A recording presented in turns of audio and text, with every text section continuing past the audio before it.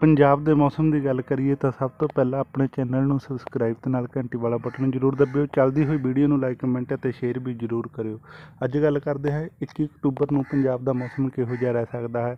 ਜਿਵੇਂ ਉਮੀਦ ਸੀਗੀ ਕਿ ਮੌਸਮ ਉਸੇ ਤਰ੍ਹਾਂ ਦਾ ਹੀ ਬਣਿਆ ਹੋਇਆ ਹੈ। ਖਾਸ ਕਰਕੇ ਅੱਜ ਸਵੇਰ ਵੇਲੇ ਪਿਛਲੇ ਦਿਨਾਂ ਦੇ ਮੁਕਾਬਲਿਆਂ ਨਾਲੋਂ ਥੋੜੀ ਜਿਹੀ ਠੰਡਕ ਜ਼ਿਆਦਾ ਮਹਿਸੂਸ ਕੀਤੀ ਗਈ। ਪਰ ਜਿਵੇਂ ਜਿਵੇਂ ਦਿਨ ਅੱਗੇ ਵੱਧਦਾ ਜਾ ਰਿਹਾ ਹੈ, ਉਸੇ ਤਰ੍ਹਾਂ ਹੀ ਗਰਮੀ ਤੇ ਹੁਮਸ ਦਾ ਦੌਰ ਵੀ ਵੱਡੇ ਪੱਧਰ ਤੇ ਪੰਜਾਬ ਦੇ ਵਿੱਚ ਦੇਖਿਆ ਜਾ ਰਿਹਾ ਹੈ। ਪੁਰੇ ਦੀ ਹਵਾ ਹਲਕੀ ਹਲਕੀ ਜਿਹੀ ਲਗਾਤਾਰ ਪੰਜਾਬ ਦੇ ਵਿੱਚ ਚੱਲ ਰਹੀ ਹੈ। ਸੋ ਅੱਜ ਮੌਸਮ ਤਾਂ ਇਸੇ ਤਰ੍ਹਾਂ ਦਾ ਹੀ ਰਹੇਗਾ, ਗਰਮਾਹਟ ਜਿਹਾ ਵਾਲਾ ਰਹੇਗਾ, ਮੀਂਹ ਦੀ ਕੋਈ ਖਾਸ ਸੰਭਾਵਨਾ ਜਾਂ ਬੱਦਲਬਾਈ ਦੀ ਨਹੀਂ ਹੈ।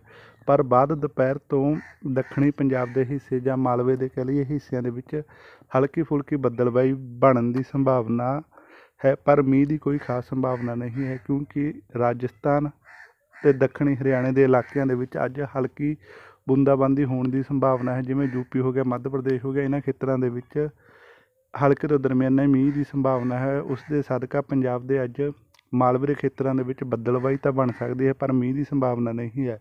ਰਾਜਸਥਾਨ ਤੇ ਹਰਿਆਣੇ ਦੇ ਕਾਫੀ ਇਲਾਕਿਆਂ ਦੇ ਵਿੱਚ ਅੱਜ ਮੀਂਹ ਪੈਣ ਦੀ ਸੰਭਾਵਨਾ ਬਣੀ ਹੋਈ ਹੈ।